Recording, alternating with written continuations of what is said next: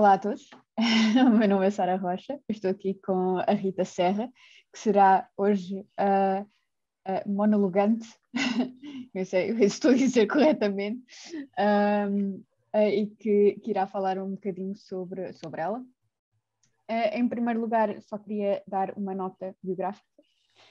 Uh, Rita Serra, bióloga doutorada e investigadora do Centro de Estudos Sociais da Universidade de Coimbra, acompanha com a atenção possível o desenrolar da vida uh, material, semiótica e para ordenar os sentidos, escreve. Autora de dois blogs, Histórias da Serra, o desafio de saber como pensa e se vive com uh, uma serra e Neurodivas, autistas e neurodiversos. Escreve regularmente na revista Osso. Olá, Rita. eu, eu, queria começar uh, por uma pergunta que tem a ver com a tua uh, biografia, que é, uh, tu dizes na tua biografia que escreves para ordenar os sentidos. O que, o que queres dizer com isso? Olá, Sara. Uh, sim, é uma coisa que eu tenho pensado bastante e, uh, e à medida que, que tenho estado a, a, ouvir e aprender com, com os outros monólogos, tenho pensado nessa relação com a escrita.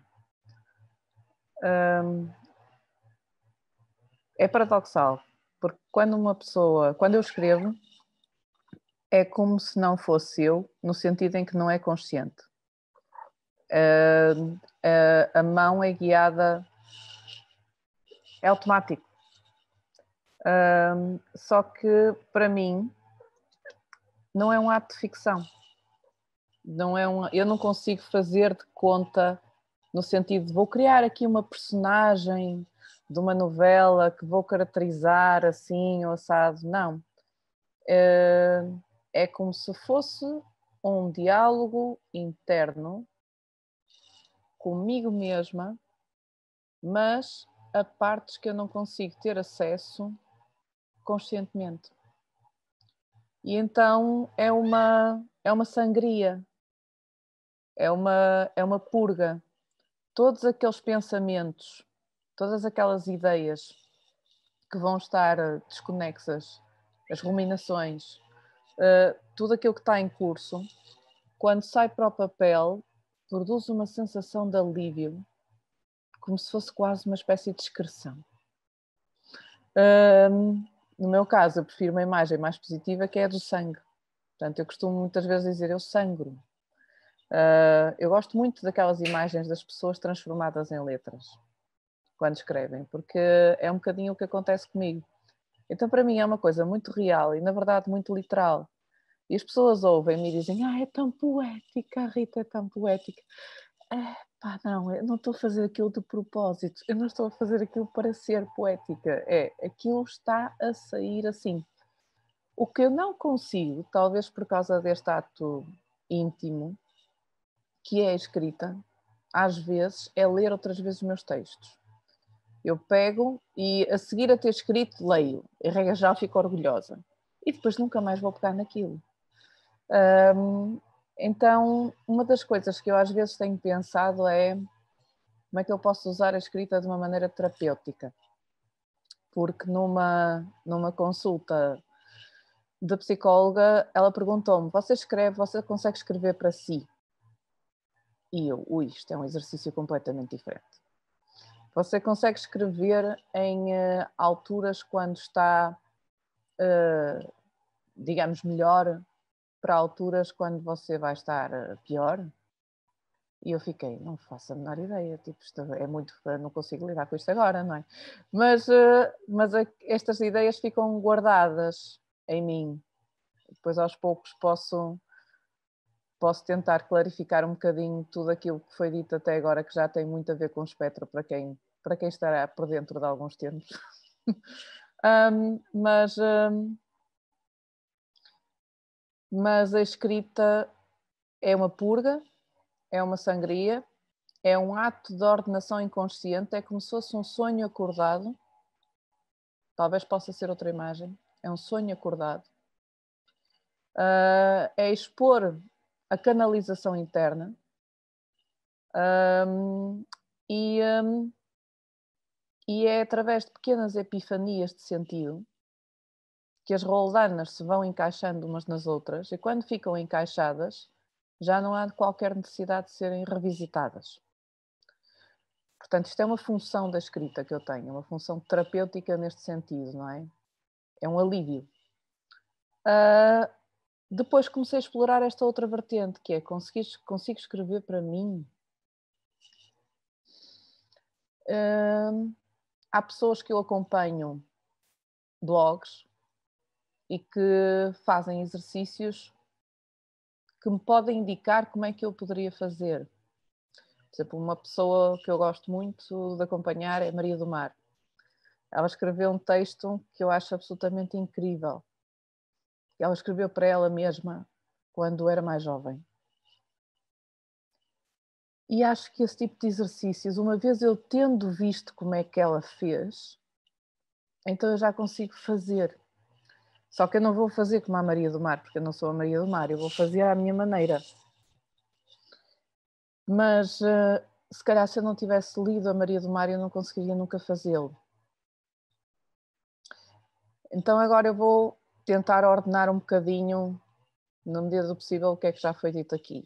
Portanto, e, e, também dialogando um pouco com as monologantes uh, anteriores, anteriores ou, ou, os que nós já fomos ouvindo, porque a ordem pode não ser a, a, a mesma ordem com que nós estamos a fazer as gravações assíncronas.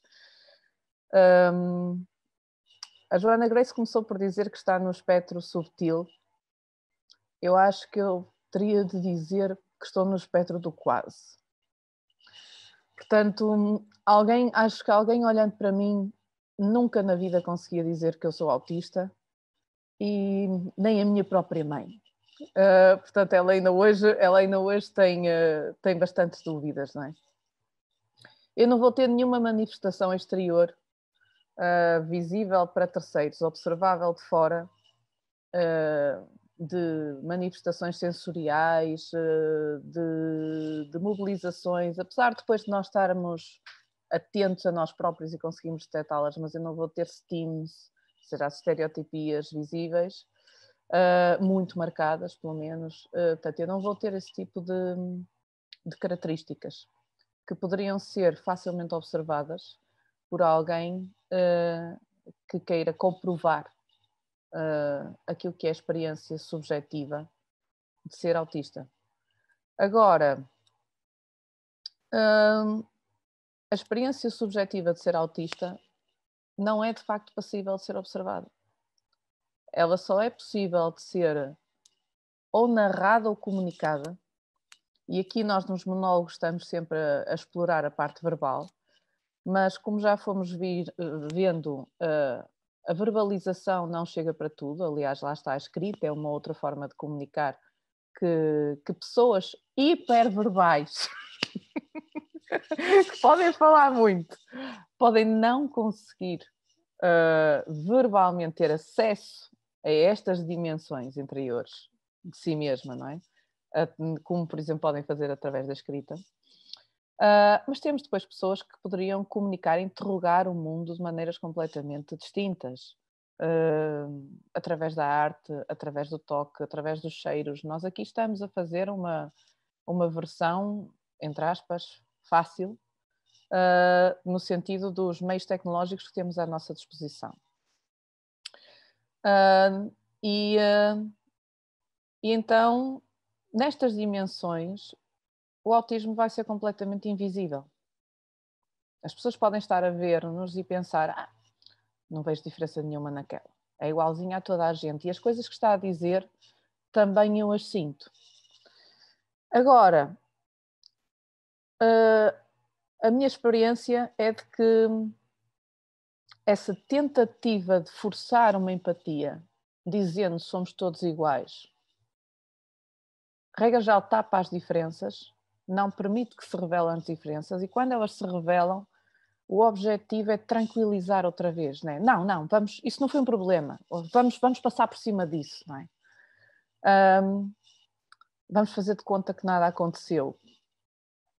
E, um, e, no entanto, como as diferenças não desaparecem dessa maneira, a dissonância de expectativas vai aumentar até um ponto onde, regra geral, é respondida com agressividade. Porque hum, a outra pessoa naturalmente olha para nós como igual a ela. E, uh, está à espera de um certo comportamento, está à espera de uma certa resposta, está à espera, tem um conjunto de expectativas implícitas, não é? E as pessoas autistas vão quebrar essas expectativas implícitas de todas as maneiras possíveis e imaginárias. Portanto, elas vão ser, nesse sentido, monstros, no sentido em que o monstro é o que mostra. Elas vão revelar coisas sobre as pessoas neurotípicas que elas não têm noção, não têm consciência. E quando confrontadas com elas, vão poder ficar infuriadas. Hum, este é um pouco o problema da dupla empatia, pelo menos como eu entendo do trabalho do Damian Milton. É que a quebra de expectativas é mútua. Então, quando vêm pessoas autistas agressivas, infuriadas, em meltdowns, completamente assoberbados, uh, uh, claro que há razões sensoriais para o fazer, mas há muitas das vezes choques choques, de, choques cognitivos, choques de estilos de pensamento, uh, choques de sentido, não é? E, um, e no meu caso, uh, o que me vai acontecer é eu vou sentir esses choques de uma maneira completamente tenebrosa. Eu vou sentir essa dimensão emocional em mim um, de uma maneira excessiva mesmo que não esteja fisicamente presente, mesmo que seja uma interação, mesmo que seja um comentário no Facebook, esse tipo de reações para mim, esse desencontro de expectativas é enorme. E, e vou ter questões de regulação emocional espetaculares, porque que vão desconcertar qualquer pessoa. Portanto, eu, para além de estar no espectro do quase, estou no espectro desconcertante porque hum, eu sou as minhas emoções são como ao tempo nos Açores, que é tenho um momento em que estou a chorar desalmadamente e se revivo alguma coisa que me, que me, que me, que me afetou emocionalmente, vou chorar outra vez, não é? E a seguir, inspiro, expiro, olho para qualquer coisa, ah, uma pedrinha brilhante, e piu, pronto, já, já, já, já estamos noutra, não é? Uh, isto ligado com questões de processamento de memória uh, atípico, ainda é melhor numa consulta. Portanto, quando eu fui ao psicólogo, portanto, aliás, fui a dois psicólogos, uh, após o diagnóstico da minha filha de autismo, que essa não tem os meus problemas, além de ser muito mais inteligente e genial do que eu, é muito mais evidente, pelo menos na fase da infância, uh, eu, eu fui, fui ao psicólogo porque eu vi, há aqui coisas que eu começo a ver em mim, e isto, isto eu estou aqui a ver algumas coisas, eu, eu vejo que as outras pessoas não, não lidam com as coisas da mesma maneira de como eu lido e tal. E falei um bocado, e então um deles disse uma coisa linda, que foi, ok, você é completamente maluca, tipo, toda a maneira como você faz sentido das coisas é eu, esqueça, está muito fora. Mas não tenho aqui nada, tipo, da lista que eu tenho aqui para si, não é? Para ver, uh, é? das, das, desordens e tal, não vejo aqui nada. Portanto, está bom, da minha parte está bom, siga, olha. Boa sorte para si, boa sorte para todos, não é? Porque isto é difícil para todos. Portanto, um foi assim, uh, o outro, a outra foi, a Rita vai do 8 a 80, quer dizer, eu não percebo. Estava eu a dizer, tenho uma autoestima completamente miserável, tipo, que não percebo o que é que se passa comigo, e era ela. Mas você acha-se feia? E eu, não, acho-me bem gira. E você acha-se que é burra? Não, pô, tipo, burra e eu, eu comparo um pouco com os outros, não é? Portanto, então, estas coisas deixam-nos sem chão, que é, como é que é possível que você, uma mulher doutorada, não é? Não consiga chegar a horas uh, aqui a um encontro? Quer dizer, este como é que é possível, não é? Com tantas capacidades invejáveis que você tem. Eu tinha uma amiga minha que me dizia, é que tu tu, parece que tens, quer dizer, um super carro, não é? Como se fosse um desportivo. As pessoas ouvem-te falar e a maneira como tu consegues ordenar, uh, uh, trazer novidade. És uma, disseram-me já, és uma máquina de pensar. Uh, e, e, no entanto, isso só é contraposto pelas vulnerabilidades que vão estar frequentemente expostas. E tipicamente aí é quando nos vão às canelas. Porque como eles estão à espera de um avião super potente, eles quando veem uma aberta para atacar mandam ao chão. Porque, sei lá, querem nivelar, querem tirar-nos do caminho, querem, sei lá, qualquer coisa. O que, o que não conseguem é, mais uma vez, lidar com a diferença de uma pessoa não estar nem acima nem abaixo. Acho que esse é que é o grande problema que pessoas no espectro do quase, no espectro do desconcertante, vão produzir nos outros, não é? É que hum, não vão conseguir lidar connosco, uh, ou seja, ou olham de nós de baixo para cima ou olham de nós de cima para baixo. Uh, a visão de, de cada um, de acordo com as suas capacidades e a cada um de acordo com as suas necessidades, digamos que não funciona na prática de uma interação social quando está uma pessoa uh, autista. Um, porque hum, esta mobilidade, digamos, é? este estar em trânsito, em movimento, de, de estar continuamente só por existir a destruir as imagens mentais do outro, uh, quando está a tentar interagir connosco, faz com que eles tentem fixar-nos, não é? Ou seja, há sempre aquela tentação de temos de arranjar aqui pontos fixos. Uh, que é uma coisa que eu vejo, que eu vou vendo muito como funcionam os ditos neurotípicos e também podemos falar sobre quem é que são estas criaturas, é? estes supostos e supostas neurotípicos. Uh, mas uh, mas vejo que eles querem fixar, não é? Ou seja, há aqueles que estão com capacidades de liderança, com capacidades de responsabilidades, com capacidades de terem um status superior, não é? E há aqueles em que nada do que digam, nada do que lhes saia pela boca vai, vai ter valor.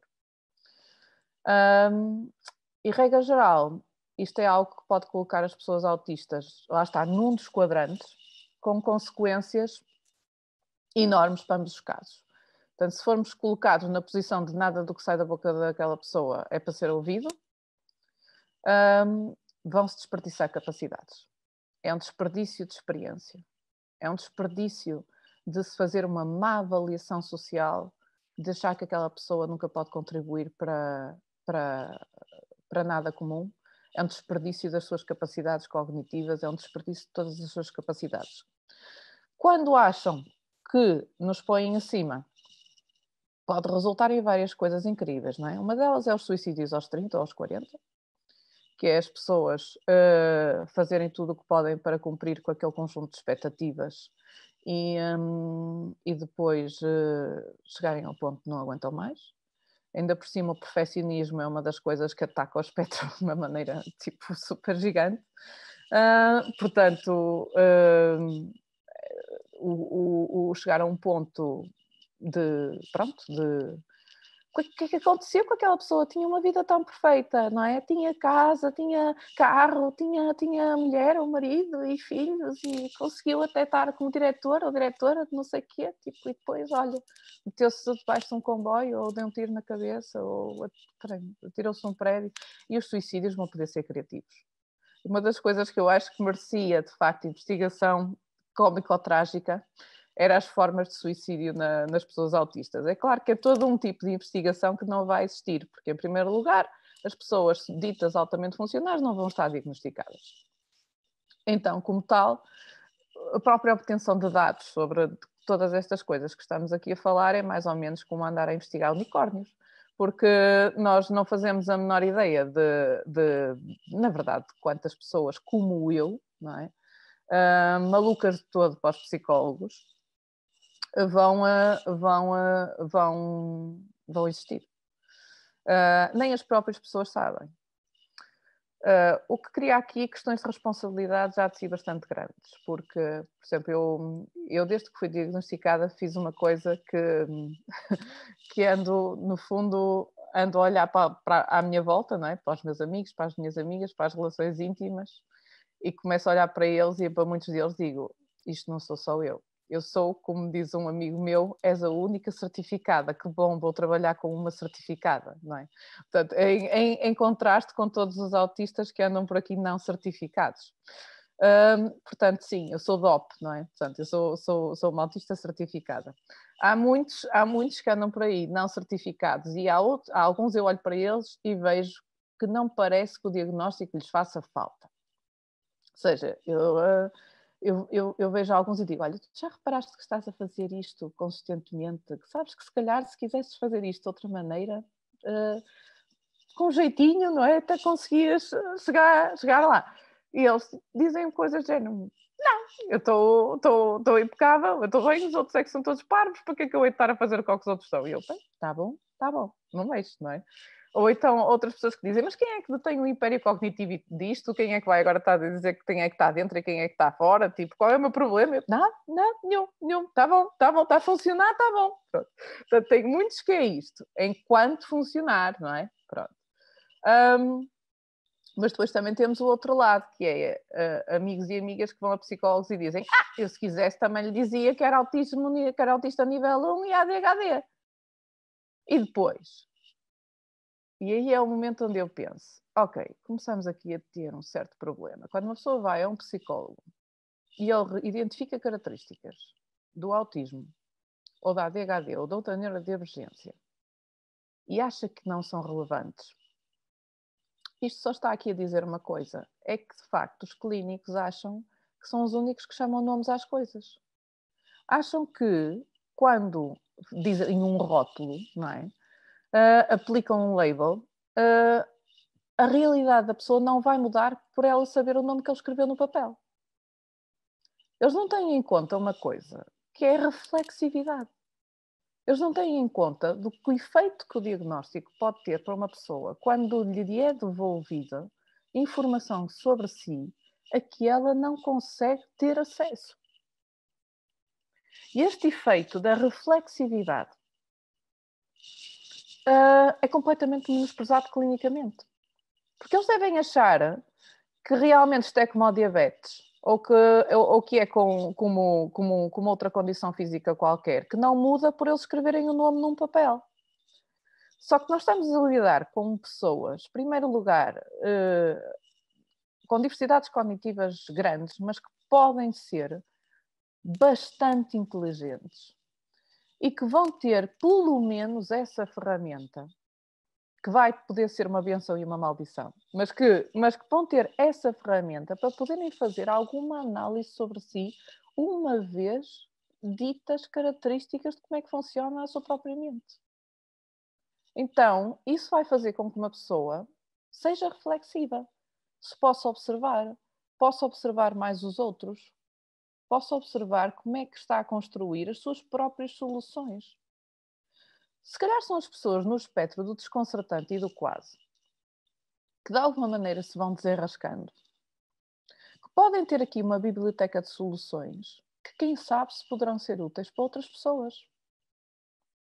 Se calhar, se eu começar a expor as minhas, tal como os meus problemas ou a, a, maneira como eu penso, que é este caos, ou seja, é esta, é esta forma desordenada e aqui também, uh, uh, claro que estou em total unmasking, não é? Não vou estar particularmente preocupada em fazer uh, um discurso coerente para quem vê. Aliás, eu nisto sou um bocado terrível, que é um lamento. Se querem ver, vêm, se não querem ver, não vêm. Mas se querem saber como é, é isto. Ou seja, eu não sou muito de esconder vulnerabilidades. Eu, durante muito tempo, fiz questão de as expor, que é, eu estou-me a sentir assim, peguem lá, depois, só muito mais tarde, é que percebi que, regra já, as pessoas não aguentam isto. Ou seja, não aguentam, eu estou ansiosa, peguem lá. Não, é mais, tu estás ansiosa, olha, vai para ali para um quarto, descansa e depois vens outra vez, que senão vais deixar aqui toda a gente ansiosa também. Demorei muitos anos até chegar a esta. Demorei muitos anos até à parte do, olha, eu não faço a menor ideia do que é que temos para fazer aqui. Não sei. Alguém sabe? Eu não sei. Eu devia saber porque sou eu o quê? a mandar nisto, mas não sei, tipo anyone, não é? As pessoas ficam, quer dizer, isto é, é, um, é bem ao chão, não é? Como é que é possível? É como se aquela imagem do Forrest Gump, o querido líder a correr, de repente para e diz, pá, mas calhar não era por aqui, vira e toda a gente, como é que não era por aqui? Como é que tu mudaste a opinião, não é? Como é que tu fizeste isto tudo com toda a gente atrás de ti e agora decidiste, tá bom, olha, estava ali um atalho atrás, vocês viram, também ninguém disse nada, não é? Portanto, este, tipo de, este tipo de características uh, eu não as escondi. E lá está, não resultaram bem, não é? Uh, muitas, uh, muitas das vezes. Agora aprendo. Um, eu não consigo esconder. Ou seja, esconder não funciona.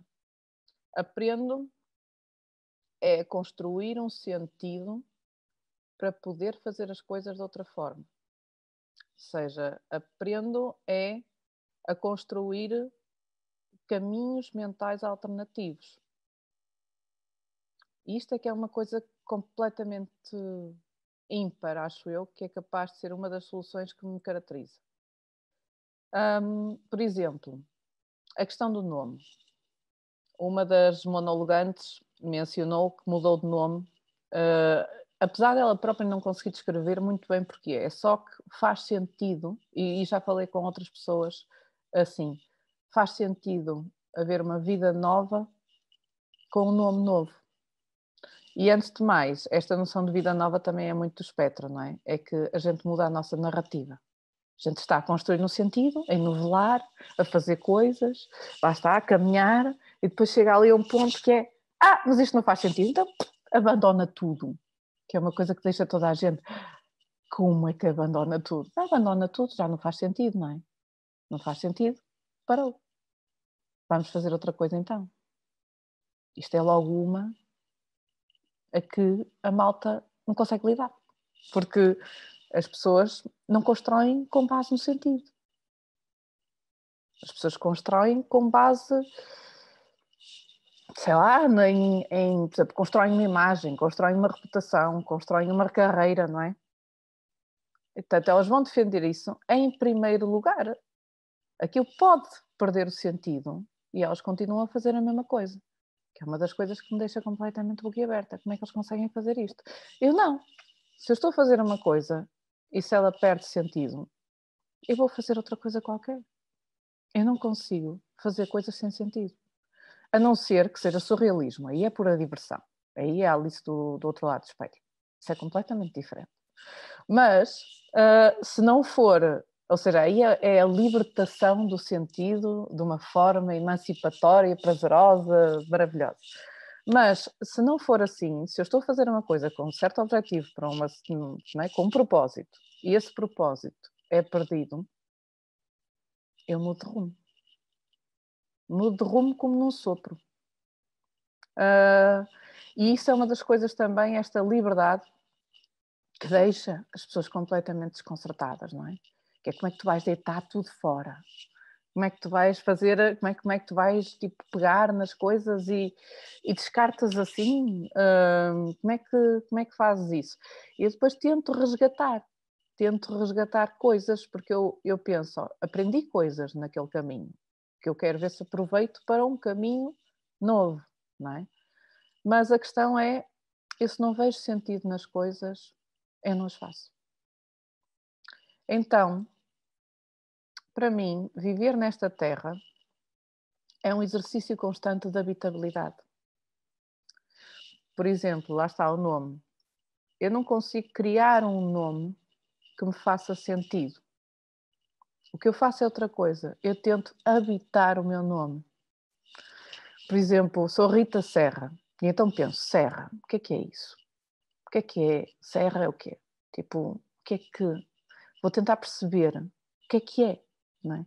Então, a tentar perceber o que é que é, tentar perceber as características ontológicas de uma serra, é que gradualmente por uma espécie de comparação infinita, eu vou-me sedimentando como uma serra. Portanto, eu vou habitando o meu nome. Em vez de criar um nome diferente, a minha filha tem outra solução, que é, não, olha, tipo, o nome que tu me deste é um e agora vou ser outro e é assim. E ai de quem me chama o nome original. Porque eu autodenomino-me, não é? Aquela coisa que eu adoro, eu autodenomino-me. Não, eu não faço isso. Eu estou sempre a tentar habitar o espaço uh, onde me puseram, por assim dizer. E acho que também consigo fazê-lo porque, porque a vida para mim é sempre muito. Eu não tenho dificuldade em mudar de rumo e de procurar outros sentidos, porque há sempre muitos. Uh, eu tenho eu sinto como, como se estivesse num rio sempre cheio de poças e pedras e grãos de areia e reflexos um, e, e, toques e peixes e cobras e, e spirogira e quer dizer tantos elementos ali.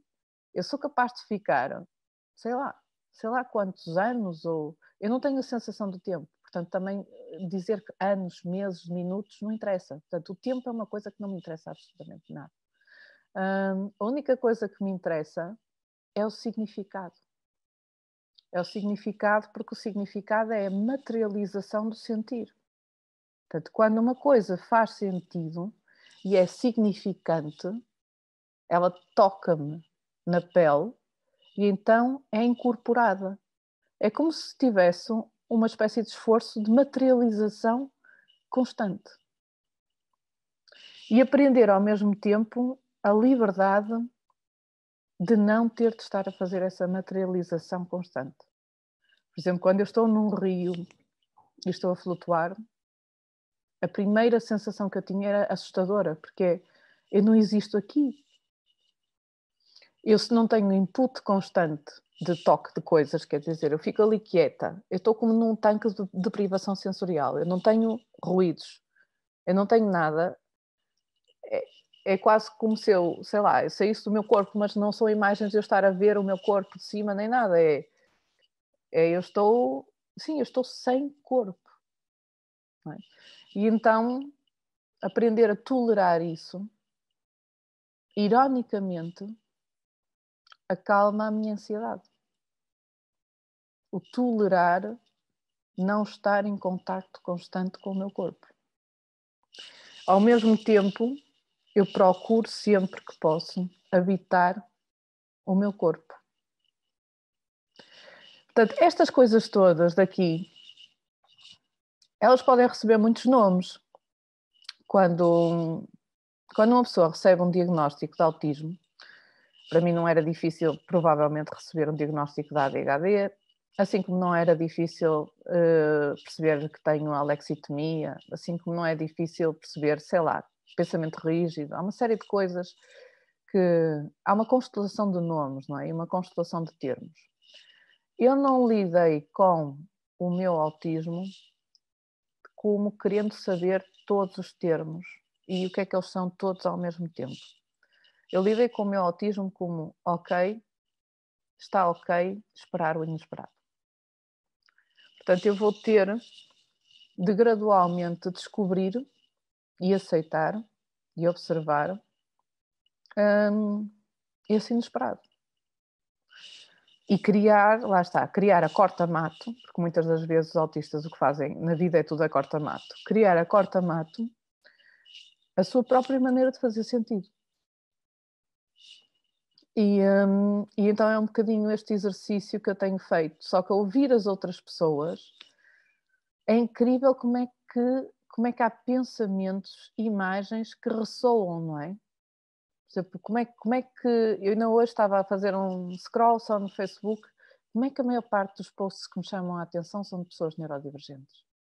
Como é que a maior parte das coisas que os outros estão a dizer, eu, ah, por amor de Deus, credo, ah, que lamachice, tipo, zinho, zinho, zinho, zinho, zinho, e de repente há ali uma coisa, yeah, é mesmo isto. Por exemplo, estava a ver, estava a ver uma, uma que, eu, que eu acompanho que dizia Uh, pior imagem de tarefa tipo gigantesca, mesmo coisa mesmo difícil da vida, é de um, apanhar a roupa e dobrá-la e arrumá-la uh, em sequência, no mesmo dia. Quer dizer, pronto, caos, não é? Isto acabou, não existe. Tipo, estamos aqui num obstáculo transponível. Um, e, um, e uma pessoa pode, pode ter uh, outras coisas que vai estar a fazer na vida, como doutoramentos, ou uh, ter de fazer uh, assistir a alguém que está a precisar de cuidados, não é? ou, uh, ou, ou estar em questões financeiras gravíssimas que não sabe qual vai ser o dia da manhã. E isso é, é, está bem, e pronto, são coisas para fazer, não é? Um, posso estar a lidar com alguém que, que me chegou bêbada da casa e que, se, pronto, olha, vomitou, fez xixi na carpete e não sei o quê. Ah, amanhã, amanhã está fixe, tipo, amanhã, amanhã está recuperado. E, entretanto, decido-me pôr cítara, por exemplo, de música. Espera aí, para tudo. tipo, tudo. Isso não. Ah, então, as coisas que nos vão fazer saltar a tampa, as coisas que vão ser fáceis e que vão ser difíceis para nós, vão ser totalmente fora da norma. Uh, aquilo que nos vai mandar abaixo, é? ou que nos vai deixar felizes, também vai ser abaixo da norma. Lembro-me de ter visto uma coisa do Sheldon Cooper, quando ele estava a falar com a, com a Peggy, uh, que foi fantástica, em que a Peggy estava lá a falar dos problemas da vida dela e as coisas muito complexas, de como é que aquilo, como é que é, como é, que é a, a, a sua vida, e, e o Sheldon estavam numa de partilhas íntimas e o Sheldon diz, olha, também te vou partilhar uma coisa, é que o YouTube mudou de logotipo e eu fiz de conta que aquilo não me afetou, mas olha, eu fiquei lixado por dentro, não é? Portanto, e então aí é o momento onde, onde, onde a Peggy, haha, não é? Tipo, olha, olha que piada. E ele diz uma coisa que é: uh, Pois, uh, agora vou dizer uma coisa que tu não sabes, é que agora magoaste mesmo os meus sentimentos. Eu passei por isto com a minha filha. O logotipo do Facebook houve uma altura que mudou e, meu Deus, foi uma desgraça. O valor afetivo que os ícones vão poder ter é absolutamente gigante. A forma como nós temos, a forma, lá está toda a nossa afetividade com, com, a, com os, os signos é de uma outra natureza. Por exemplo, a minha filha, ela não aguenta o 3D. Os bonecos que ela gosta têm de ser em fotografia ela levava o bonequinho preferido dela, em que uma fotografia encaixilhada, para todo lado, como alguém leva um peluche. Eu uma vez arranjei-lhe um bonequinho que ela gostava e eu pensei, ah pá, ela gosta tanto deste boneco, vou mandar fazer. Ela viu aquilo, tipo, foi arruma, arruma, por amor de Deus, eu não consigo lidar com aquilo. Ela vê um boneco 3D do, do, do, da sua personagem favorita e ela sai da loja a correr. Não é? Porque é muito emocionante. É muita emoção. Portanto, para mim, o autismo e a neurodivergência, além de poder ser caracterizada da maneira como a gente já conhece, que é as questões sensoriais, as estereotipias, a interação social, a comunicação, uh, para mim, para mim o autismo é uma semiótica diferente. É a capacidade que uma pessoa tem de responder a signos de maneira diferente é a capacidade que nós temos de tomar a linguagem uh, pelas suas qualidades sónicas e não pelo seu sentido, ou uh, tomar uh, uma, uma palavra por uma figura e uma proposta de forma. É pensar em figuras ou, ou a falta delas. É ter de construir e interligar as relações do mundo de uma maneira que se não for própria não vai ser autêntica e se não for autêntica e se tivermos de fazer só aquilo que as outras pessoas esperam de nós, ficamos zombies. Ficamos no ponto em que não há ninguém em casa. É tolerar esta diversidade emocional de chorar num minuto e rir no outro Uh, e quando a nossa psicóloga nos pergunta, então, depois daquela consulta mesmo intensa e catárquica, onde você teve a expor a sua intimidade e os seus traumas de infância e tal, como é que está agora? Eu digo, não me lembro de nada. A sério, falei disso, não me lembro, não me lembro. Tipo, ah, não. Quer dizer, se, se, me perguntar muito, eu vou fazer um esforço, não é? Para me lembrar. Mas não, já foi, já foi, já passou. Tipo, era, era o quê? Tipo, ah, olha um passarinho lá fora. Portanto, é isto tudo, não é? É isto tudo. E eu percebo que nós vamos ser extraordinariamente difíceis para as outras pessoas lidarem, porque, porque elas vão estar sem chão. Nós vamos estar sempre a puxar-lhe o tapete. Só que não é de propósito. Uma das coisas que é, que é muito interessante, que a maior parte dos autistas dizem é pá, eu às vezes gostava de fazer de propósito. é? Portanto, porque não é de propósito. Fui, fui, fui outra, outra consulta com a médica da minha filha, que começa a estar sensível para a questão dos autistas adultos, não é? Aos poucos. e, e, ela diz: Ah, pois, porque, mas quer dizer, vocês também são outsiders, não é? São assim todos fora, não, não é? Tipo, nesta eu não me vou integrar, não é? Não sou daqui. Eu, não é de propósito. Eu acho que eu mesmo eu, eu, na verdade, eu já estou a gramar coisas e a tentar tipo, fazer compromissos desde que nasci. Um... nunca vão chegar, pá, não, nunca vão chegar, tenho pena, mas olhem, é, é o que há, não é? é? E como uma pessoa faz tanto compromisso, às vezes só pede um bocadinho da parte do outro, não é? Mas como o outro não está a ver o iceberg, acha que nós estamos sempre a pedir muito. Portanto, enfim, isto para primeiro sprint, ficamos por aqui já. Ah, ótimo. uh, eu, pronto, as minhas perguntas, acho que comentaste ali uh, algumas coisas uh, e, portanto, eu vou-te, se calhar, fazer as três perguntas e depois tu arrancas com elas, eu acho que. e pronto, uma das perguntas é: qual a importância para ti da serra e da natureza? O que já começaste a falar um bocadinho sobre isso. Uh, a segunda uh, a outra pergunta é: uh, nos teus textos dizes ser uma fundamentalista das coisas boas, que autista é o teu nome do meio e que tens dentro de ti a donzela, a mãe e a anciã. E a minha pergunta é: o que é para ti o eu? e a última pergunta, e que depois tenho mais, se entretanto, um, pronto, para o final, mas é, qual, o que é para ti a parentalidade no espectro? Um, escreveste agora um, um, brilhante capítulo para, o SES sobre a parentalidade no espectro. O que é que é para ti uh, ser uh, mãe no espectro? Eu vou começar por essa, porque talvez seja aquela que possa ser mais relevante para quem estiver eh, eventualmente a, a, a ver ou ouvir. Sendo que eu, quando faço estas coisas, assumo que não está ninguém a ver nem ouvir. Ou seja, uh, essa é uma das coisas que começa por, uh, por explicar, digamos, a, a, a, forma como eu, como eu comunico. É que eu não tenho em mente um ouvinte. Portanto, eu não tenho, quando eu escrevo, não tenho em mente um leitor e quando eu falo, não tenho em mente um ouvinte. Uh, eu consigo criar na mente um leitor e um ouvinte para ordenar o que eu vou dizer. Aí eu crio um corte, uh, ou seja, um corte, um recorte, uma figura, não é?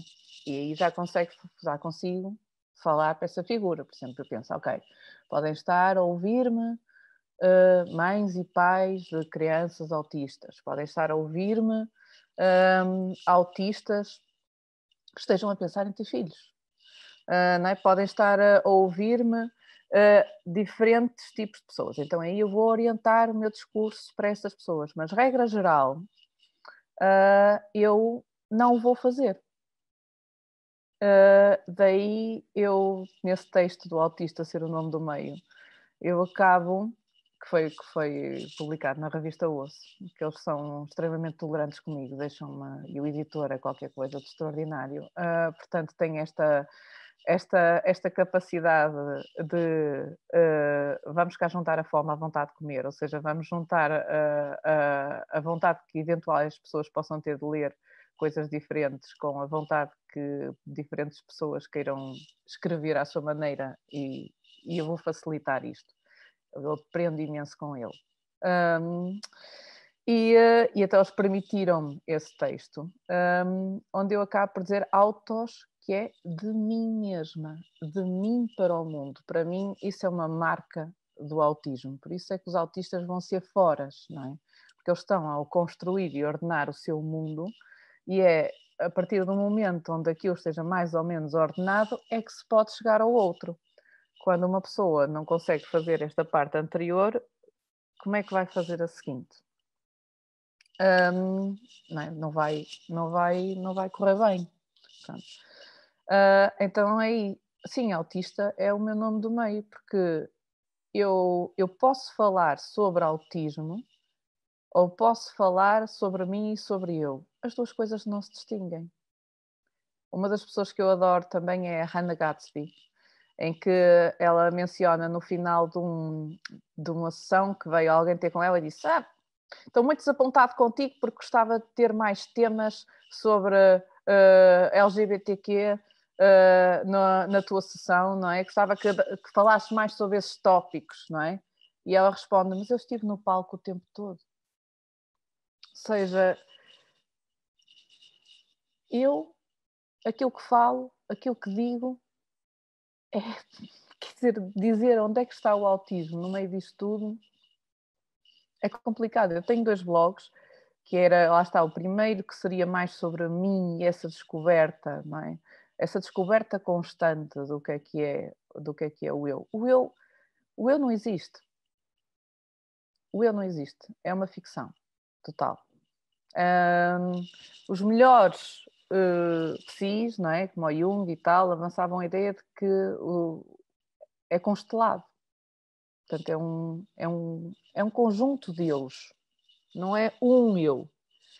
Uh, Sabina Spielrein, que é outra que, que, que, fez um trabalho absolutamente incrível, diz o problema do indivíduo é, é, é isso, é achar-se que ele não é divisível. Ele é divisível.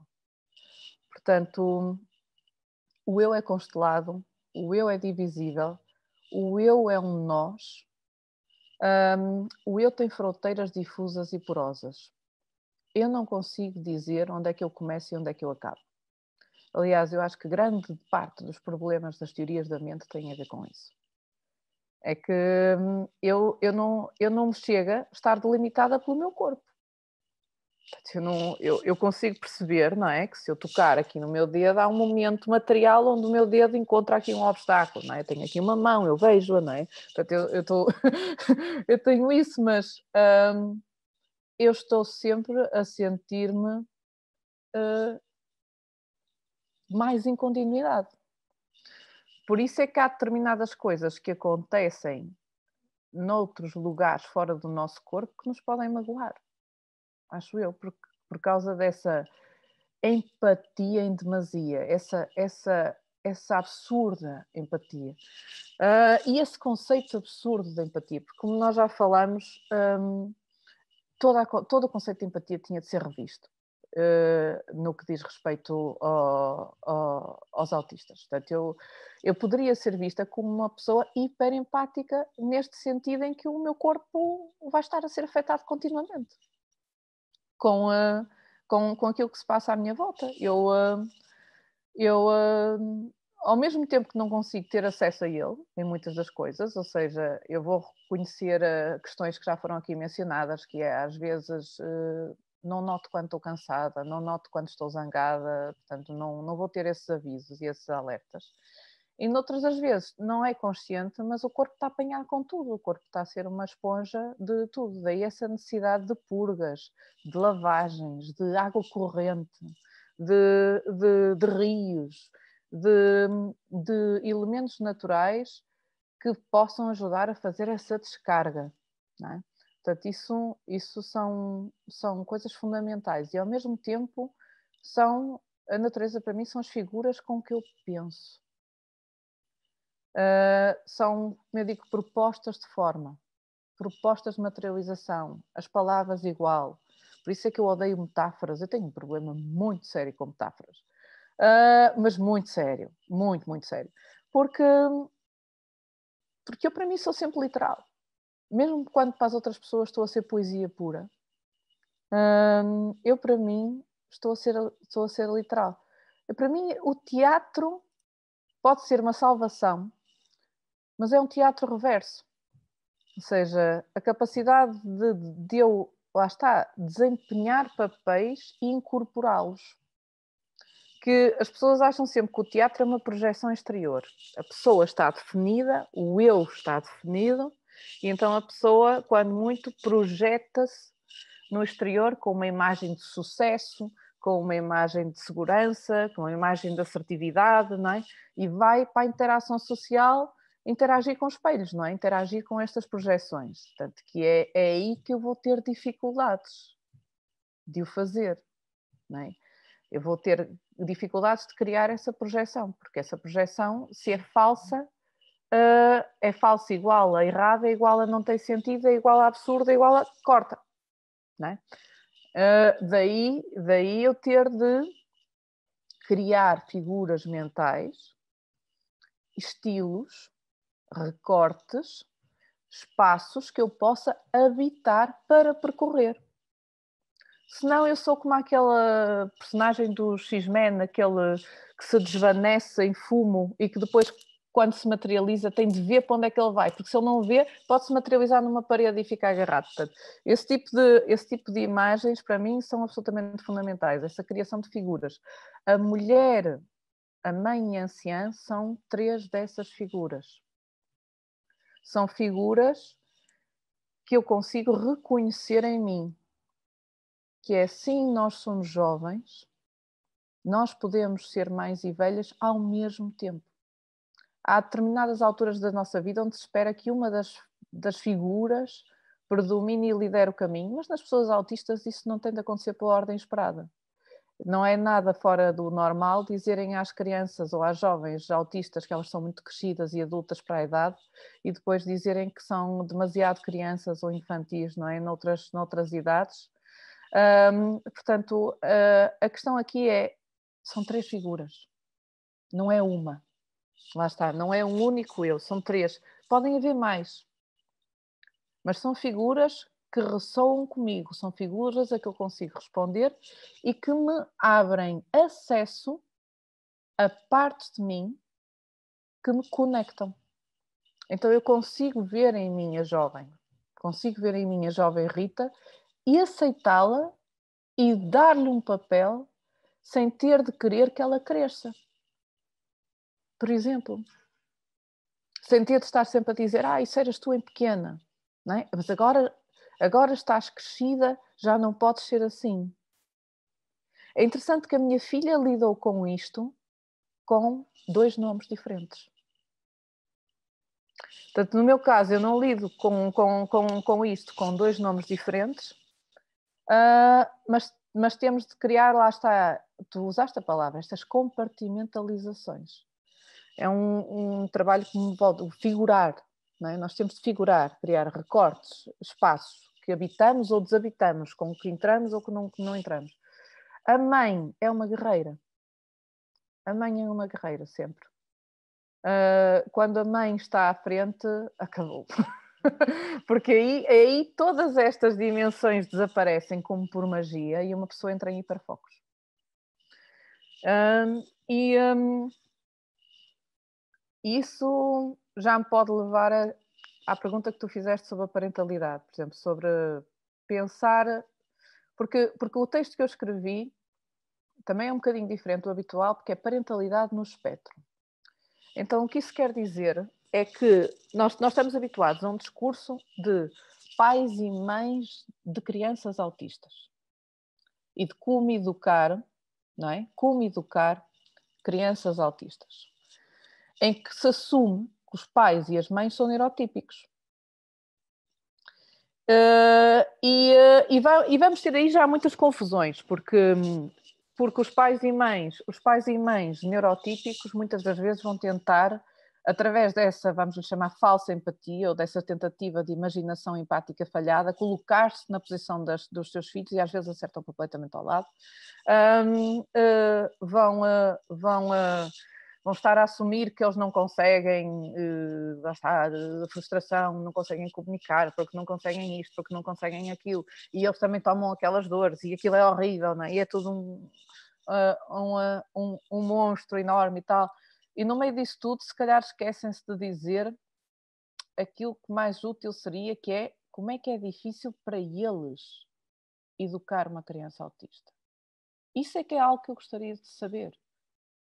Um, e normalmente eles não conseguem fazê-lo. Não conseguem fazê-lo porque estes, estas dificuldades que eu, no fundo, estou aqui a, a, expor a nu, não é? esta canalização da dificuldade de uma pessoa figurar, ordenar, não é? produzir, produzir coerência, é algo que, por eu ter tanta dificuldade com isto, eu vou ser exímia na ordenação quando o faço. E, um, e então a questão, a questão da empatia tem muito a ver, e essa questão da teoria da mente tem muito a ver com isto, que é uma pessoa tem de aprender a circunscrever-se ao seu espaço. Tem de aprender a ver como é que consegue ter informações sobre si mesmo. Tem de aprender a desligar-se do outro e não querer ocupar o espaço do outro, não é? E tem de aprender, a, este é que é o mais difícil de todos, a ver como é que é visto pelos outros. Portanto, são pelo menos três níveis super difíceis. Um, ver-se a si próprio. Dois, ver os outros como diferentes de si. E três, ver como é que é visto. E, as, por exemplo, os pais e mães de crianças autistas, com a tal obsessão de tentar dar voz, é? dar voz aos autistas, porque querem ocupar aquilo que eles interpretam como um espaço vazio, não é? Querem ir para um lugar que não é o deles. É? Esquecem-se de ficar no seu lugar. Esquecem-se de falar do seu lugar. O lugar dos pais e das mães é falarem das suas experiências enquanto pais e mães. Não é falarem pelos seus filhos ou filhas. É falarem como é que é difícil para eles e para elas. Porque educar uma criança autista vai poder ser muito difícil. Mas eu só consigo imaginar. Eu só consigo imaginar como é que um neurotípico sente as dificuldades. Se calhar nem eles próprios têm consciência, não se apercebem. Então, isto para mim é uma lacuna. Apesar de nós termos muita orientação de parentalidade para crianças no espectro, em que supostamente só querem dar dicas a pais neurotípicos de como é que educam as crianças autistas, para mim a lacuna que pode ser importante para o diálogo é falem por si. Falem das dificuldades que sentem. Eu, nesse sentido, posso falar das dificuldades que eu sinto com a minha filha. Mas também tem outra, outra parte aqui, que é esta, que é parentalidade no espectro significa que o autismo, regra geral, como não vem do ar, não é? Quer dizer, como não é uma contaminação ambiental, como não, aparentemente não é uma geração espontânea, não é? Uh, a família vai ter traços e características e, e combinações delas. E então não é difícil, não tem de ser, mas não é difícil, não é para ser raro, que os pais ou as mães possam estar no espectro do autismo. Então, a parentalidade no espectro do autismo implica também assumir que as pessoas autistas vão poder ser pais e mães. E essa é uma outra posição. Então, uma vez tendo claro estas diferenças, não é? Vou tentar falar de cada uma delas, que é e falar para estas figuras imaginárias, que é eu, enquanto autista, mãe, para pessoas autistas que são mães ou que podem querer ser mães. Não vão conseguir antecipar o que é. Não vão conseguir, porque, por exemplo, uh, não vão conseguir porque podem ser um caos nas vossas vidas e com a maternidade entram em hiperfocos. E se entram em hiperfocos, vocês não vão. Não, é, é tudo para vocês. Vocês vão dar, vocês vão ir a limites que não têm noção. E todas as questões sensoriais de não consigo ouvir crianças a chorar, ou não consigo ficar sem dormir, ou não sei o que, não sei que mais, se entrarem em hiperfocos, esqueçam. Um, este é outro paradoxo muito interessante, não é? Que é uh, como é que há determinadas coisas que nos podem irritar tanto e como é que nós podemos fazer, passar por cima delas? Como é que elas não são absolutas? Por exemplo, a Maria do Mar falava: Eu não suporto roupa molhada no corpo, mas se eu tenho de fazer uma sessão um, uh, eh, fotográfica, eu foco-me nisso. Então a mente está à frente, não é? Eu não estou concentrada, naquele momento é o momento onde a alexictomia dá jeito. Eu não estou concentrada na, na, na no meu corpo uh, e como é que ele não gosta. Aquela sensação não está a dominar o que se está a passar na minha mente, não é? Eu toda a minha atenção, e o toda é toda, toda a minha atenção está naquele ser que está ali à minha frente, que é o ser que eu estou a tentar com todas as minhas forças interpretar, para perceber o que é que é. é? E então uh, isso é algo que não pode ser antecipado. Assim como também não pode ser antecipado que uma pessoa queira muito ser mãe e que está a imaginar eh, os sapatinhos e as bonecas e tudo e mais alguma coisa e depois uh, pode achar a criança horrível. Pode achar aquilo, quer dizer, um, lá está, um monstro com o qual nem sabe como é que lhe aconteceu aquilo, nem pariu, e, não, é? não isto, isto pode acontecer. Uh, em que é que não havia de ter medo? Não havia de ter medo se a parentalidade fosse vista como um ato comunitário, como devia de ser. Infelizmente, a parentalidade e a maternidade recaem completamente, tipicamente sobre a mãe, mas não exclusivamente, não é? Mas como se fosse ato de responsabilidade de uma única pessoa. Não tem e não deve e não pode ser ato de responsabilidade exclusiva de uma única pessoa. O maior desafio que eu tive com a minha filha foi dormir. Eu passei anos em privação de sono. E, hum, e para mim isto é algo que era respondido tão fácil. Eu, eu conseguia ver o que é que eu queria. O que eu queria era uma, uma ama de sono. O que eu queria simplesmente era uma, uma, uma, uma carrinha que estacionasse à minha porta, uma van, com um quarto, que era para eu poder estar perto na mesma, mas eu pudesse lá estar e dormir e tivesse outra pessoa com um treino mínimo só para poder, enquanto a minha filha estava acordada, uh, garantir que ela não se magoasse. E isto podemos dizer assim, isto até podia dar jeito a outras pessoas, não é? Uh, amas de sono é uma coisa que eu acho que era super relevante. Para os pais não terem de estar a ir é que não é só no dia seguinte a trabalhar eh, com uma noite mal dormida. Às vezes é anos. Anos sem conseguir dormir uma noite, não é? E a privação de sono é tortura. É tortura. E qual é a solução para isto se não for uma solução ou comunitária, familiar comunitária, que seria, ok, vamos nos revezar, hoje dormes tu, amanhã dormo eu, mas numa casa isso pode não ser possível. Uh, ou ter alguém que, avós, que dizem, olha, tipo, pronto, precisas de descansar, eu vou aí fico com ela uma noite, não é? Ninguém diz isto. É muito difícil as pessoas uh, uh, dizerem isto e fazerem isto. Porque acham que é responsabilidade da, da mãe pôr a criança a dormir.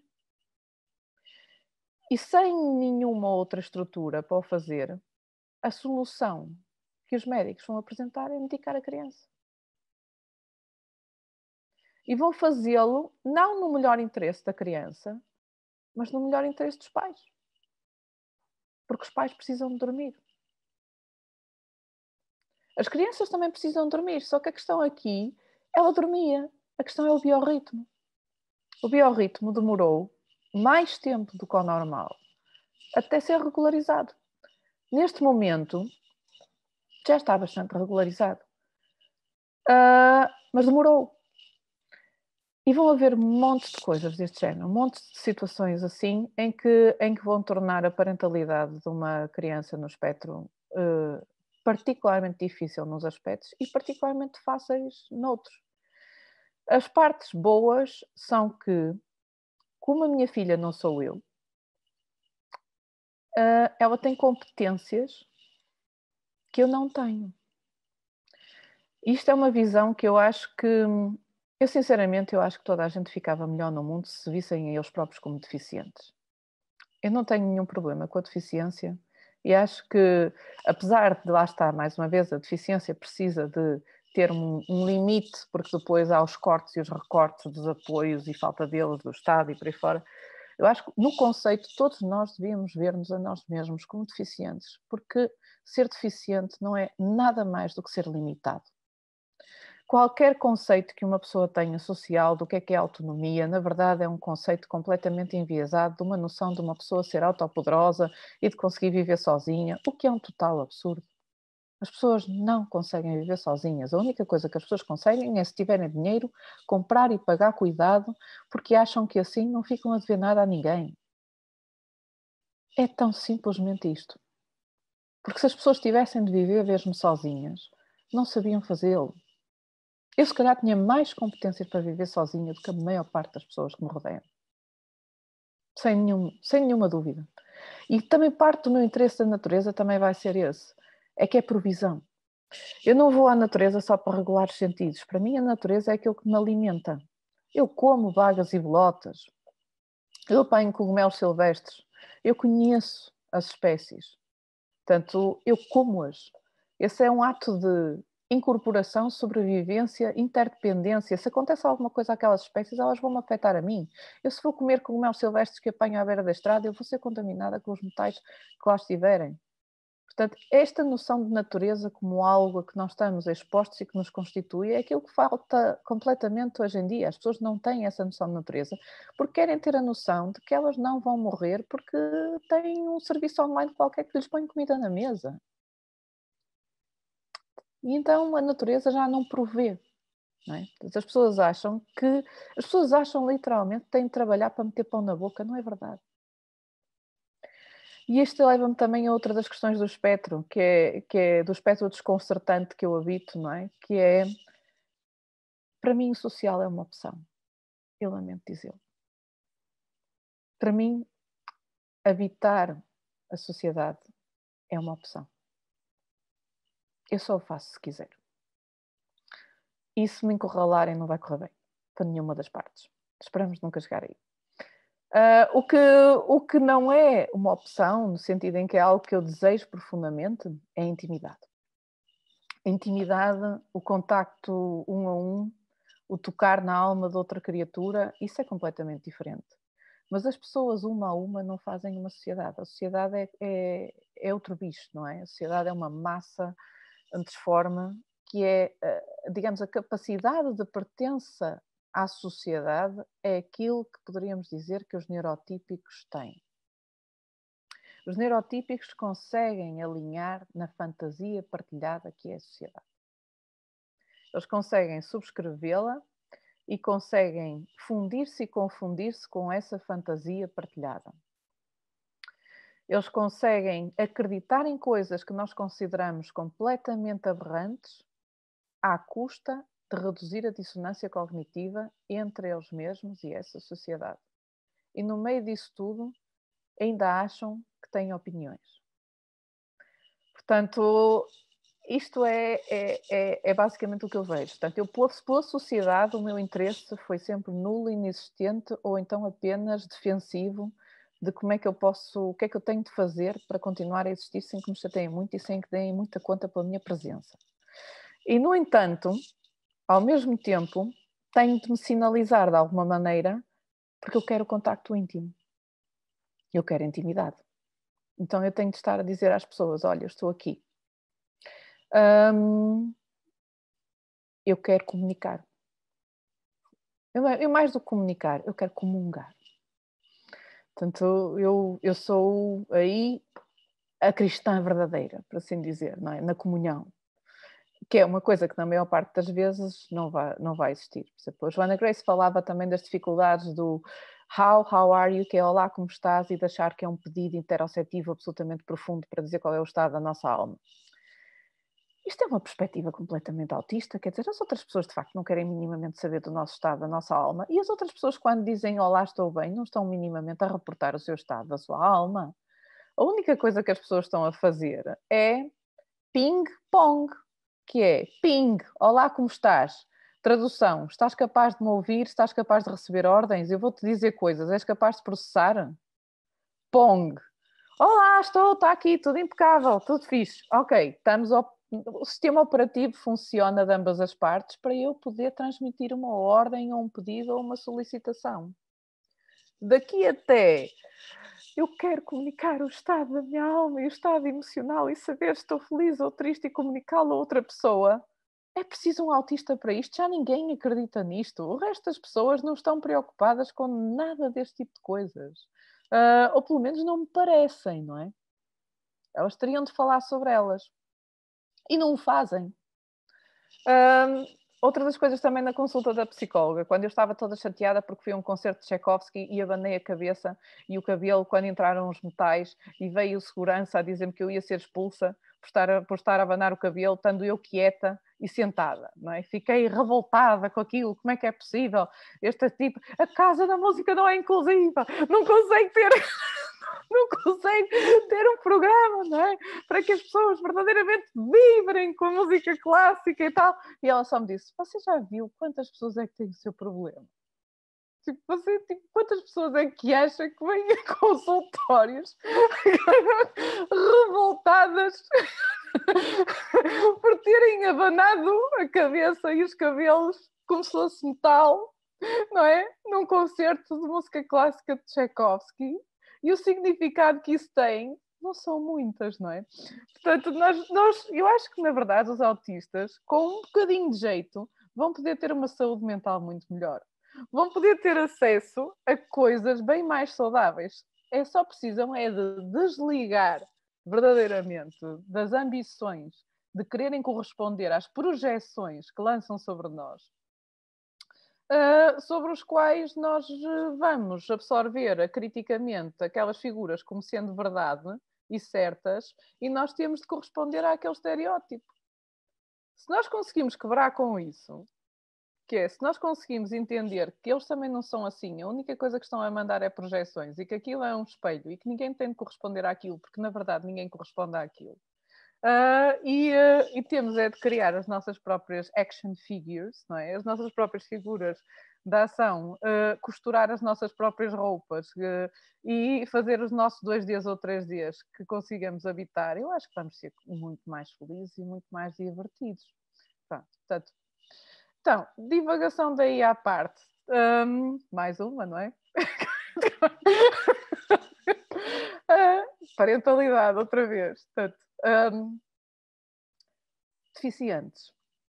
Se nos vimos a todos como deficientes e conseguimos perceber e reconhecer e aceitar as nossas limitações, então a parentalidade também vai ficar mais simplificada, porque a minha filha faz coisas que eu não faço.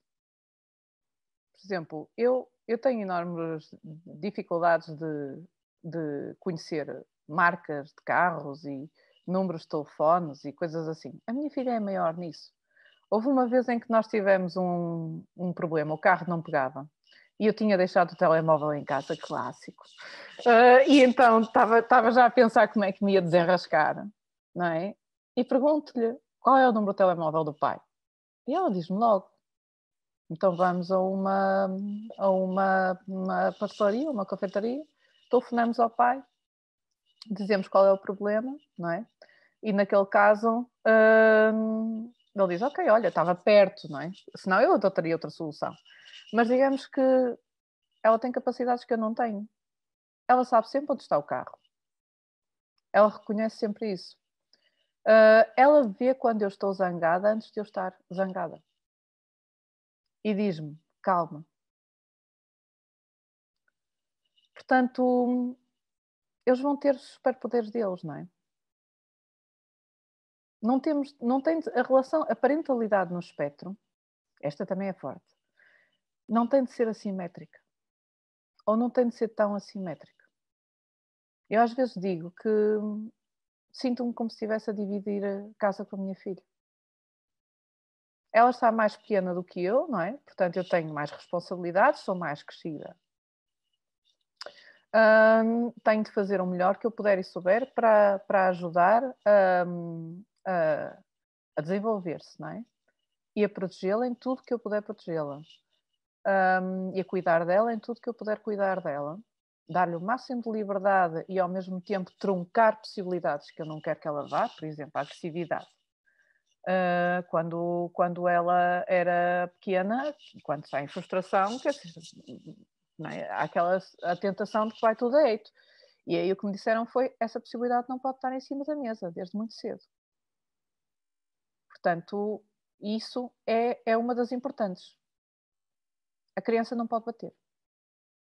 E numa fase pequena é fácil, porque a gente só lhe segura as mãos. É? Seguramos as mãos e afastamos.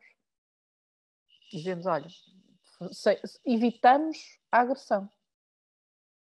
Portanto, ela não pode bater. Essa, essa opção não existe. Não pode existir.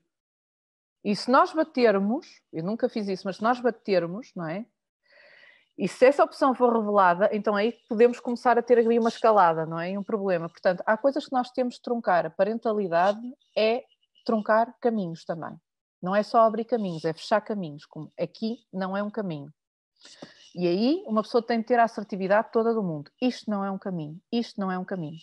E podemos beneficiar muitíssimo das opiniões dos terapeutas para coisas que para nós podem não ser um problema e para eles dizem isto vai poder ser um problema ou quando for um problema, nós vamos ter de, intervir. Isso é fundamental. Mas, hum, fora isso, nós o que estamos ali a fazer é, é apoiar um crescimento e o florescimento de um ser que não somos nós. E que vai estar sempre ligado connosco e que vai poder suplantar-nos em muitas outras coisas. Portanto, as deficiências não são as mesmas. Numa casa neurodiversa não têm todos as mesmas deficiências. Quando eu perguntei no, no primeiro monólogo à Joana Grace como é que se pode colaborar através das, dif das diferenças e das divergências, e ela disse: é só saber onde estão as diferenças, não é? Porque se nós reconhecemos algumas coisas que dizemos, ok, mas eu nisto sou deficiente, eu não vou conseguir fazer isto bem, e se reconhecemos a uma criança que ela tem essa capacidade, não é? Mesmo sendo criança, então está resolvido o problema, não é?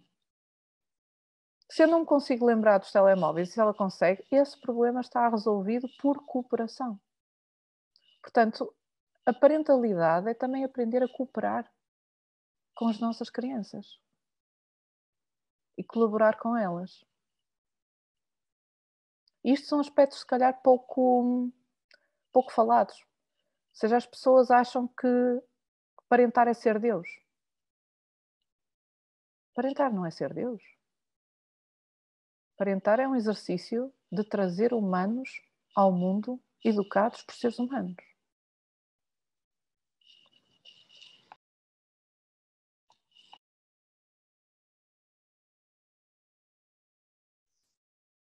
Ainda estou a tentar processar tudo. Obrigada. uh, agora, uma última, uma, uma, última pergunta, um bocadinho mais vaga, porque uh, a Rita é um mundo dentro de uma pessoa e eu ficava aqui horas, horas e horas a ouvir. uh, há algo que gostavas de falar que eu ainda não te perguntei. E agora vou-te deixar devagar até, até dizer chega. Esse é logo o momento que há enormes probabilidades das pessoas no espectro dizerem então ficamos por aqui, que é aquela coisa do, do, do PDA, do Pathological Demand Avoidance, que é se não há expectativas, então já estou tranquila, não preciso fazer absolutamente nada. Não é? não preciso fazer absolutamente nada, estou em paz. Que é outra contraproducente, não é? Que é o momento da liberdade total, agora vai e abre as asas, não é? É o momento do ok, então liga a televisão e já posso estar descansada, já posso ver séries ou outra coisa qualquer. Pronto, um, que resulta, ironicamente, portanto, há sites de parentalidade para crianças com esta característica que mencionamos agora, que em Portugal ainda não está muito disseminada, ou, ou a evitação à demanda, não é? Onde lá está, o não colocar expectativa nenhuma é a forma de poder tirar o problema da equação, não é? E ter a malta focada e orientada e a fazer as suas tarefas, não é? Em sequência, como toda a gente, pronto, como de repente aparece a roupa lavada, arrumada, dobrada, não é? Do nada. Pronto. Porque se não há expectativas, ufa!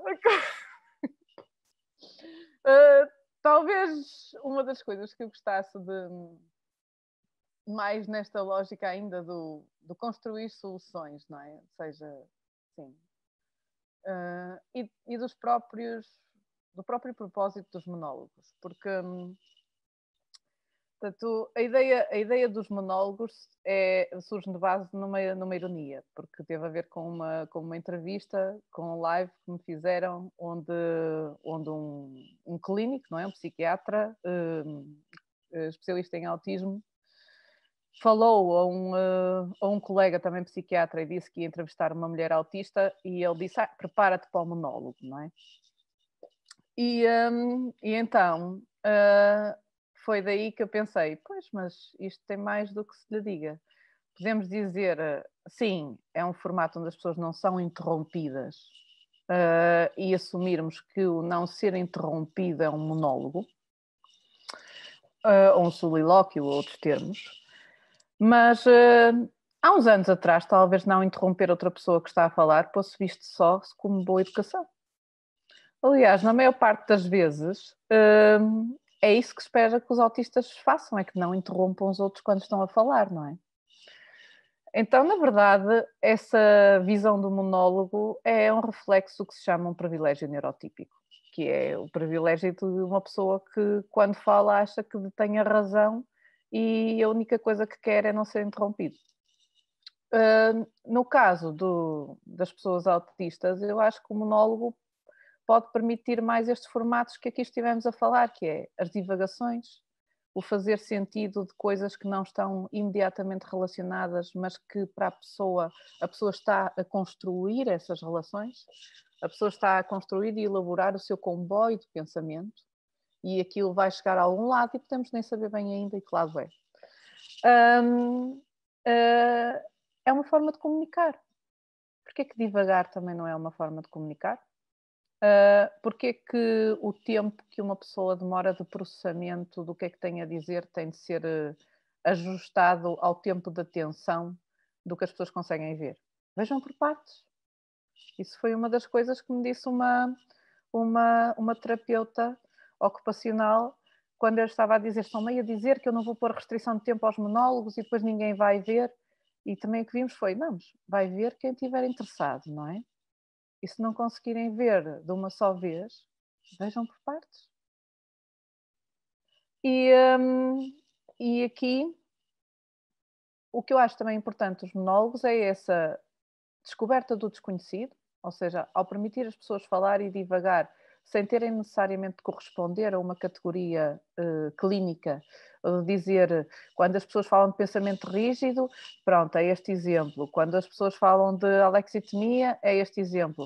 Uh, eu aqui não, não queria tanto, no, pelo menos no meu monólogo, fazer isso. Uh, é mais deixar, lá está, deixar sair e, e no que sai encontrarmos estranhas convergências.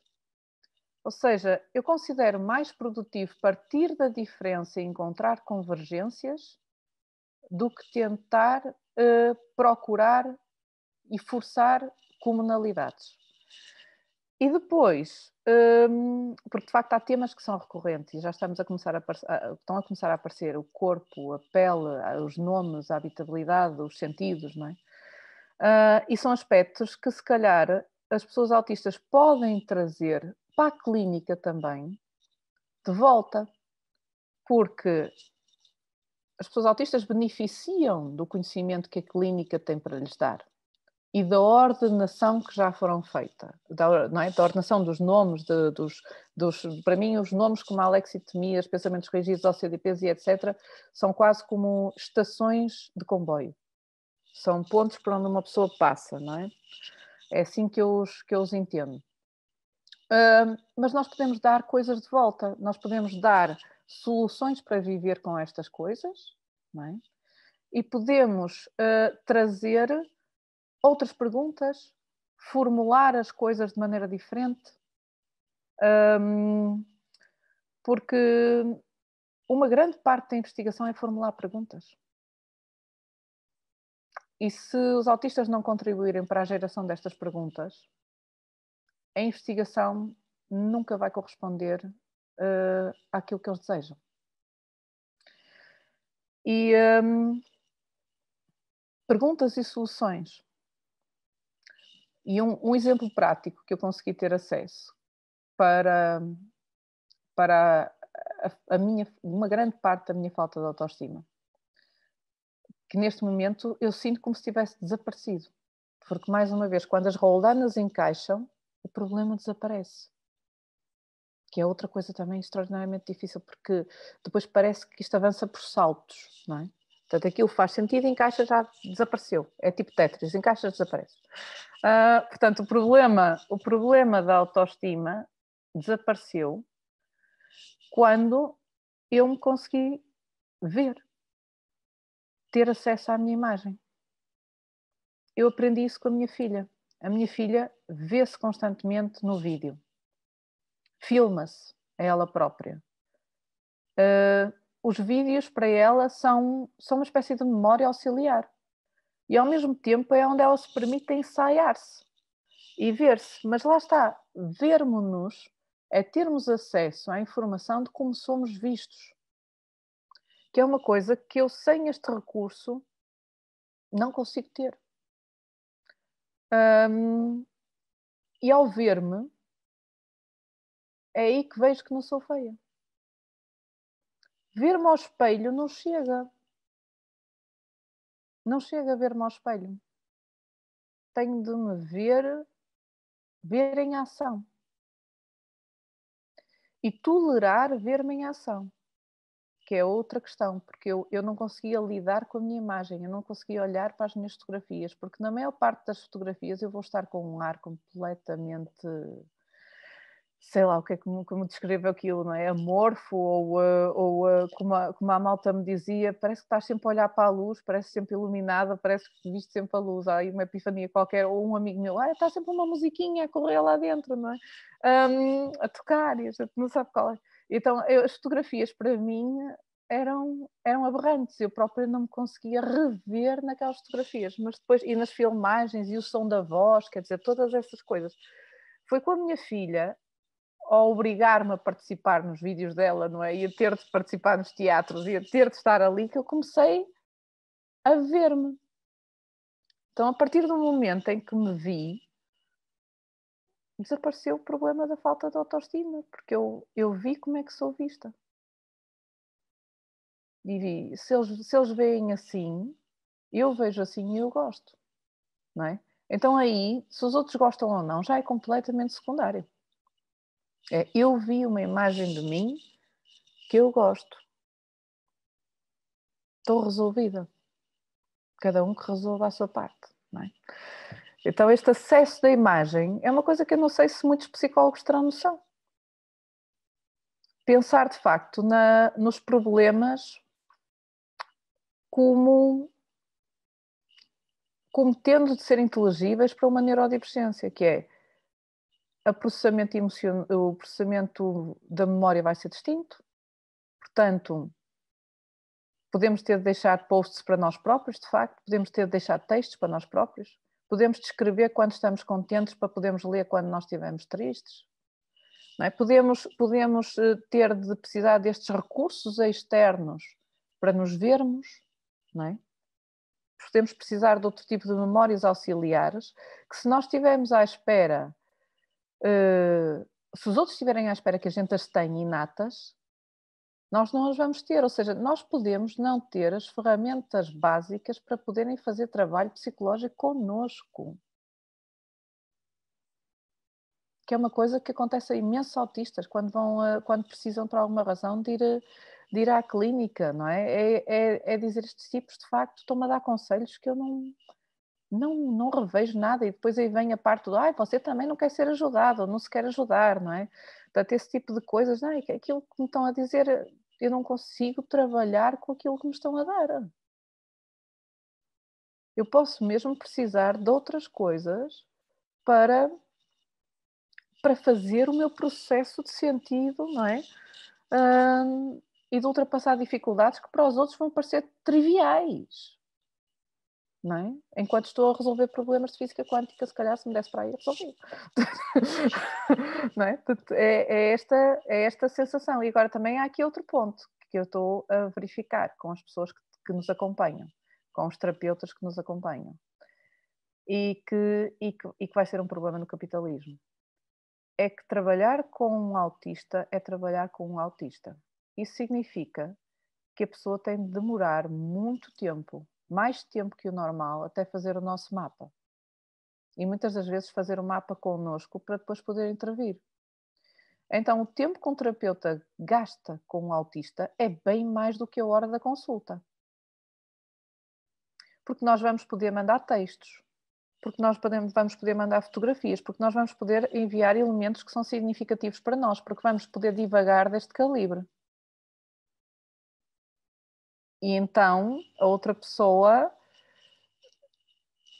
vai ter de trabalhar. E, hum, e se nos entregarem um trabalho de ah, pois os autistas só querem ser ouvidos, então pronto, fala para aí, já estou aqui a ouvir-te, nós vamos notar. E, e não vamos lá ficar. Portanto, eu considero que para as pessoas, especialmente no meu ponto, hum, que neste momento estão impecáveis, eu considero-me impecável a nível de saúde mental, não me considero nada mal, mas que tenho estas características que já disse. Mas se eu tiver problemas de saúde mental, quem é que me vai conseguir ajudar? Quem é que vai conseguir deitar-me a mão? O que é que eles têm para mim? Para alguém como eu, não é? E eu considero que era absolutamente essencial uma gigantesca investigação clínica pública com pessoas autistas para a construção destas bibliotecas de soluções que tivessem de ser novamente compiladas, ordenadas, aí sim, não num monólogo clínico, mas num diálogo. Ou seja, assumindo a reflexividade de o que é que as pessoas autistas fazem com a categoria o que é que nós fazemos com os nomes que nos dão, não é? Uh, o que é que nós devolvemos? E, um, e aí acredito que poderíamos ajudar mesmo muitas pessoas. Mas uh, também estou consciente de que existem inúmeros obstáculos para isto num modelo em que o que se quer é uh, atender o máximo número de pessoas no, no, no mínimo tempo possível. Um, e, um, e um modelo também que a investigação pública e socialmente relevante está de facto uh, a cair em desuso. E, um, e então eu espero que o movimento de autistas, que o movimento da neurodiversidade, que possa, por um lado, ajudar-se a si mesmo, que é o que estão a fazer a comunidade online. É esta capacidade das pessoas se reverem e perguntarem também tu e de, e de, e de, irem, e de irem falando como é que tu resolves este problema, não é? Por exemplo, pensamento rígido, como é que tu resolves este problema? Eu resolvo o problema a contextualizar. Não é? Portanto, sempre que eu neste momento eu digo, sou capaz de mentir, sou, sou capaz de mentir. Sou capaz de mentir sempre que conseguir encontrar naquilo um propósito uh, que eu considere uh, válido. Ou seja, o que é que eu adicionei? Contexto. É? é isto que uma pessoa faz no pensamento rígido. É adicionar contexto. Para cada situação, não é? Há ali o espaço de cinzento mapeado não é sobre mentir ou não mentir, ser ou não é, és honesto ou mentiroso. Não, não é assim. É, és honesto em que circunstâncias, és mentiroso em que circunstâncias. Há alguma circunstância em que consideres que é admissível não ser honesto? Há alguma circunstância em que consideres que é admissível mentir? Então vamos trabalhar com circunstâncias, não é? Será que fazem isto na clínica? quando apanham alguém com pensamento rígido? Será que isto resulta? Não faço a menor ideia. Para mim, resulta. Demora anos.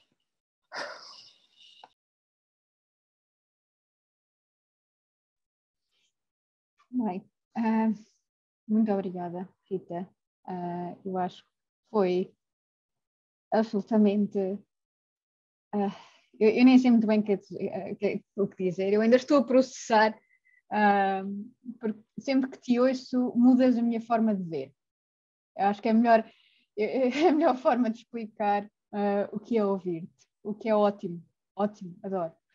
Uh, e portanto eu queria agradecer uh, à Rita imenso, não só hoje nossa conversa, mas os monólogos em si, a ideia de, de os criar, porque um, eu que estou aqui muitas vezes em, em backstage a ouvir-vos, é absolutamente brilhante e, e muda, muda-nos muda-nos a nós também. Uh, portanto, muito obrigada, Rita. E se quiser só acabar agora com uma mensagem, só assim muito rapidinho, e, e depois eu posso desligar. Obrigada. Ok, obrigada tu, Sara, és absolutamente incrível. Tipo, eu sou fã, fã. uh, talvez a mensagem também de, do exercício dos monólogos seja outra, que é para pessoas autistas ouvir é um desafio. Para toda a gente é um desafio, mas para pessoas autistas ouvir é um desafio. Portanto, hum, e é um dos melhores exercícios do mundo. Conseguirmos de facto estar nesta posição de quem está a ouvir, uh, mesmo que a gente não consiga ouvir tudo de uma vez e processar tudo de uma vez, quer dizer, não é assim, não é? Mas este exercício de estar a ouvir, uh, de nos suspendermos para dar atenção ao outro, é, é algo que, que, talvez seja das melhores coisas que nós podemos oferecer. E num mundo onde se acha que o falar é que tem a primazia, que é o dizer, não é? O, o impor, não é? O ocupar o espaço da voz. Uh, é absolutamente fundamental treinarmos este outro exercício da escuta e entre nós também no espectro. Acho ótimo.